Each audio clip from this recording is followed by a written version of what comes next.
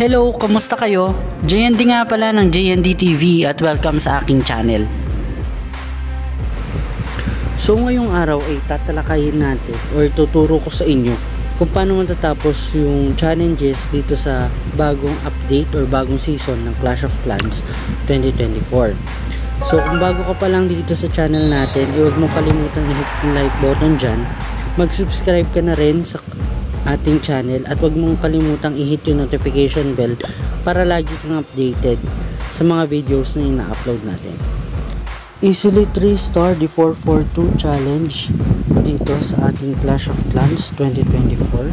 So, pang 11 na po tayo sa ating Clash with Haaland challenge. So, ito yung map ng ating challenge. So, isa siyang uh, hero, hero defenses and then army camps. Ang highlight nito yung ating Royal Champion. So, siya yung high defending defense natin. And then, dalawang cannon and Land Castle. Deploy yung Barbarian King. Ayan.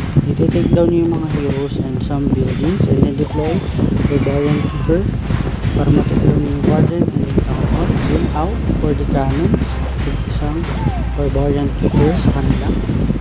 After nila matake down yung cannons, diretso sila sa CC. And then may Vamp stash yung ating king, kaya don't worry sa kanyang health. And then yellow card natin yung mga royal champion. Use the giant thrower and the barbarian keeper para sa mga defenses.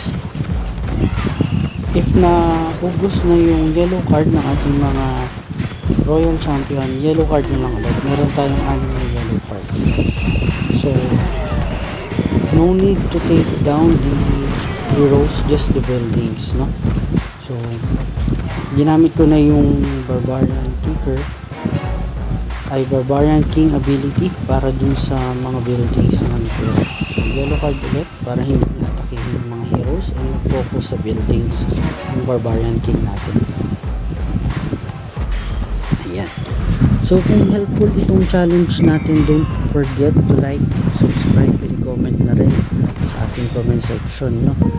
Para malaking tulong ito sa akin sa aking channel. So helpful to sana gusto mo yung video natin. So yun lang. Peace